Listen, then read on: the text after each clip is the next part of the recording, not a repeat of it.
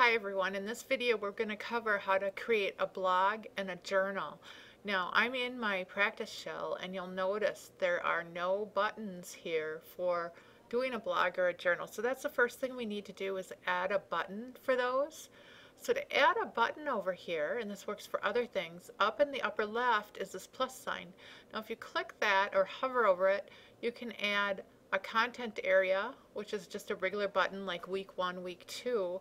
Um, so you'll use those, uh, tool link, which is a link to a tool like a blog, a journal, uh, the, the calendar, things like that.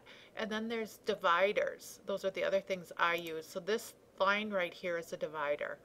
So I'm going to start with a blog. I'm going to click the plus and then add a tool link. And I'm going to call it blogs, but I have to spell it right. And then the type, I'm going to look for blogs and make it available to the users. I'll submit that and it's added to the bottom. Now for the purpose of this class I'm going to put it next to the discussion board. Uh, and just as long as we're here already I'm going to do the same thing for journals. I'm going to click the plus and I'm going to go to a tool link and I'm going to call it journals. I'm going to find the journals tool make it available to our users and click submit. So now that adds it to the bottom. I'm going to move that up to where the blogs are. So you only need to add what you're going to use. All right, so let's say I'm going to add a blog. So what I'm going to do is I'm going to go to the blogs section and there'll be a button to create a blog.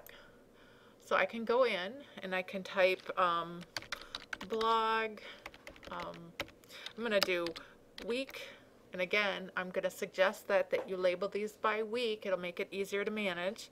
We'll do four.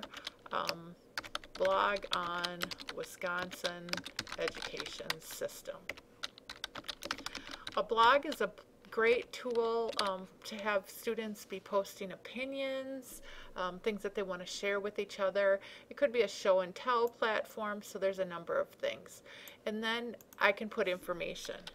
In this blog, um, please share your opinion on the state of the education system in the state of Wisconsin. Um, your blog must be four paragraphs long and include um, two resources. So you can give them the details of what they're going to do. Beneath that um, is the blog available or not, time limits, and then the participation. Individual to all students. Uh, do you allow anonymous uh, comments or not? I'm not going to. And um, do you allow people to edit and delete entries and allow um, things like that? Um, grades. We're going to make it worth 10 points. And we could attach a due date and a rubric. So I'll click submit. And now my blog is out there. Okay. However, students know, don't know when this is or where this is. So I'm going to go to week four and I'm going to build a content. I'm going to build a link directly to that blog. So I'm going to go to build content. And what I'm going to do is I'm going to say that this is a course link because I want to drink, link directly to that blog. I'm going to choose where I'm going to link to. So I'm going to find my blogs. So there it is. And then I'm going to say number one, um,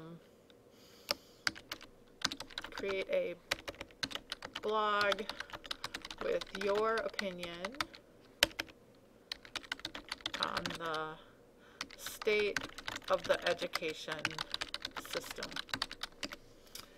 And then I can add details down here. What I usually do is kind of duplicate what's in the blog to say, you know, your entry must be four paragraphs in length and include at least two resources to support your opinion. And I'd probably give them a lot more detail, right? Um, again, I'm going to say yes, they can view it. It isn't on certain dates. I'll click submit. So now it's there. So if a student would come in and click this, it's going to take them right back to that um, blog section. They can find it week four and go in and now they could create their entry. So that's how you do a blog. Journals very similar. So I'm going to go to journals. I'm going to create a journal entry, a journal, and I'm going to say um, WK for um, course reflection journal. And again, I'm going to um, put the details um, and say only your instructor will see this reflection. Um, please write um, three paragraphs about your experiences in this class. And normally I'd add questions like, you know, what are some things your instructor's doing right? What are they not doing right? You know, whatever it is you want them to share with you. So a reflection activity. It could be you have them do something and then reflect on how it went and was this good? What would they do better next time? So a great tool. Is it available? Are we going to limit the availability? And then there's the journal settings. So um, allow users to edit and delete, to co comments. And here, permit course users to view journal. Normally, I do not let anybody else see the journals, only me. And then the grading section. So I'm going to make this worth 10 points.